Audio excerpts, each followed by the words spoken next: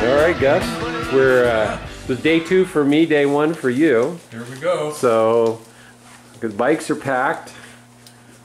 We had a beautiful dinner, great breakfast, and now we're. Uh, Hey, you put a you put a foot extension Yeah. on your uh, side stand. That's I good. did, yeah. Yeah. I need that for this bike because it sits so so low. So, all right. Well, where's the? Tell me the route for the first day. Oh, we're just gonna meander over to Highway 20, go up over Horse Ridge and uh, through Burns, stop and gas up in Burns, and then uh, head east from Burns, come out at Vale, Oregon, then go through Ontario, Boise, and then it's uh, flaming down the interstate at about 85 or 90, depending on what the traffic's doing. And the wind. Yeah, and then uh, we're gonna be at Massacre Rock State Park tonight. So for all the you don't know, I'm going to face my fears with boulders on rock on motorcycles tonight. So Yeah, I picked that place uh, on purpose. Uh, to uh, it's a torture. yeah. It's initiation. So.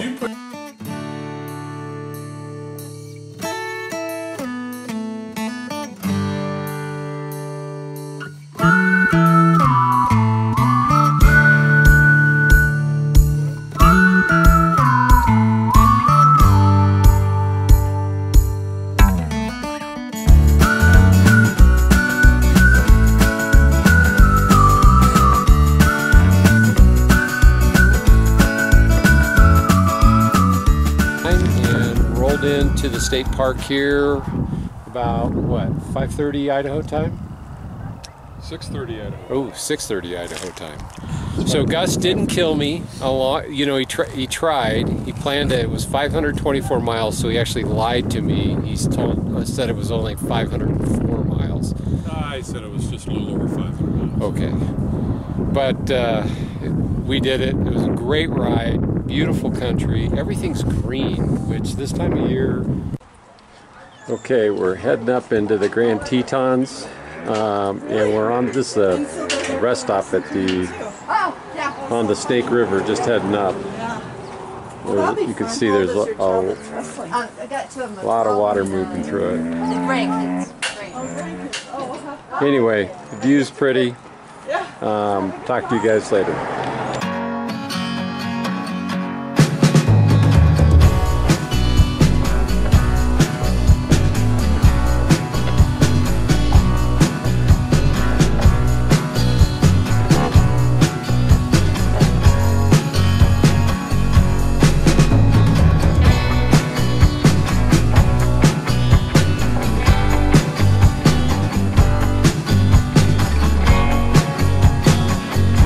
Go.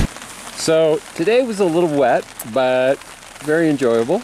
Um, started off, uh, had a nice cup of coffee, a little quick breakfast at uh, the Massacre Rocks Park, State Park, uh, down on the um, Snake River. And from there we uh, drove, packed up and uh, drove to Blackfoot, Idaho, where um, my uh, grandfather used to live, and we had a cup of coffee and filled up. And uh, then we drove um, up to American Falls, Idaho Falls. Idaho Falls, took a right, and headed up into the Grand Tetons. Climbed, uh, The Snake River Range, a low pass, down into Victor, and then from Victor up Teton Pass, 8,300 feet. wow, Went into the clouds, but no rain. right, Came down into Jackson. Jackson's a zoo, even this time of year. tourist trap. So we booked right through Jackson to Signal Mountain Campground. Found a good spot. and Here we sit. And we actually found two really good spots. Yeah. So, and as you can hear, it's uh, raining. Uh, we're all set up, pretty comfy and dry. Okay, we're stopped. What lake is this? This is Jackson Lake still? Oh wow, this is a huge lake. Anyway, so we're starting to gear up in our rain gear because that's what we're driving into. But the lake's beautiful. We uh, stopped on the side of the road. There was a, uh, a grizzly bear um, out in the uh, meadows. I couldn't get a shot of it, but uh, so one bear, no moose, no elk, lot of beautiful mountains. And uh, God sees fit to rain on us this week, so we're doing it. Beautiful.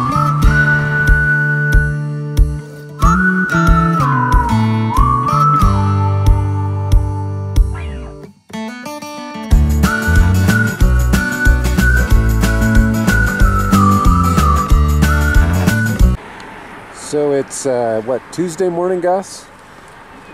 And we're in just kind of broke camp and we're rolling out of Yellowstone. We've already seen oh three or four or five buffalo. We're uh, cruising down the Yellowstone River, and we saw this big bull. He's literally I don't know 30, 40 yards from me. Just he doesn't really care about anything.